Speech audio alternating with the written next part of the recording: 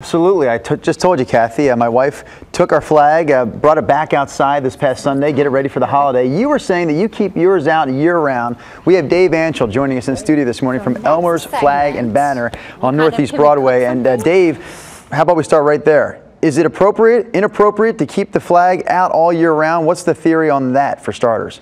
Well, having your flag outside all year round is fine. Um, you should be using an outdoor flag so that it can stand the weather. And if it's out at night, it should be properly lit. But my husband and I have argued about you take it in during the rain, not. You say it's a wind thing. It's mostly about the wind, and it's not having to do with what the code, the U.S. flag code says. It's more about what's good for your flag and what's respectful for your flag. Good. When the winds get above 30 miles an hour, you should bring it in. I never even considered whether or not it was properly lit. Obviously, I should. What, what are some of the other things you should consider to properly display your flag? Well, if it's hanging from a pole, typically it'll be hanging from, this is called the hoist or the header, and the uh, blue field should always be in the upper left side. If you're displaying your flag vertically, it would look like, like this. Got it. Mm -hmm. So upper left side, the blue Upper left field. side. The upper left side is where the blue field should always be. How about if you're displaying multiple flags?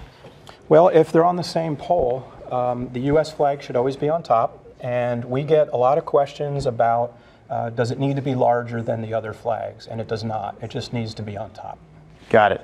Uh, I'm just curious about uh, even the display. You're saying that uh, year-round there are some codes, and who's writing these rules? This is not something Elmer's is coming up with. You're, you're, you're, you're actually pulling these but from, Dave from somewhere. lives by them. Ah, well, sometimes. yeah. uh, the U.S. flag code started in the, the late 1800s, right after the Civil War, and it's been revised as times have changed.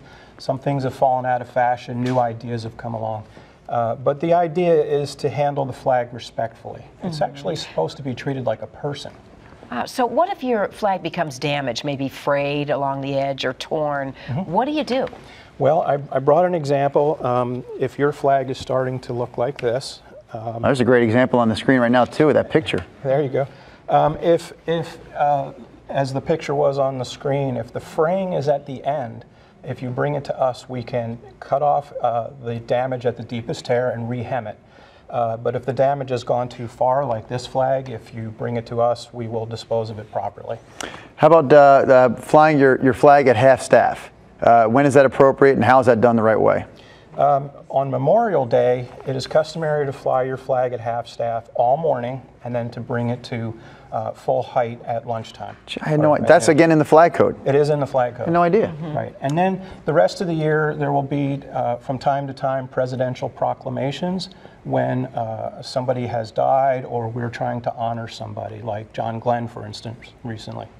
Interesting. You, you kind of mentioned quickly there, so I could bring a flag to you for disposal and know it's going to be taken care of according to the code? That's, that's correct. Mm -hmm. And so, what is that? What do you do with them? Um, the code says that when your flag is no longer a respectful uh, symbol of the, of the country, that it should be disposed of in a respectful manner, preferably by burning.